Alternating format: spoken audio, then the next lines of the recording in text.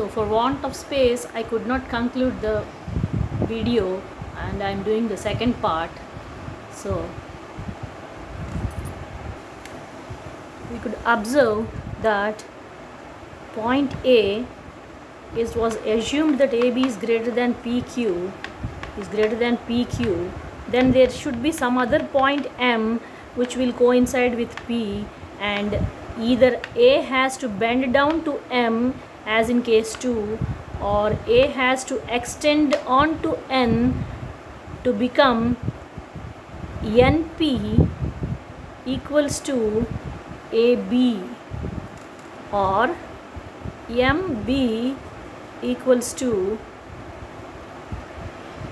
AB. This is what we say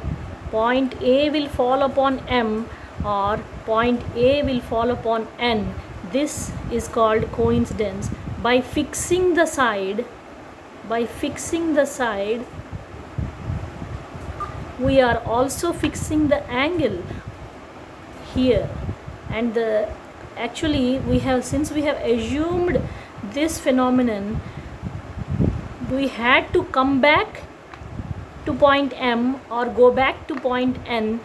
and that way the angle C was conserved and congruent with angle R therefore angle B equals angle Q and angle C was conserved to angle R and BC equals QR and this is how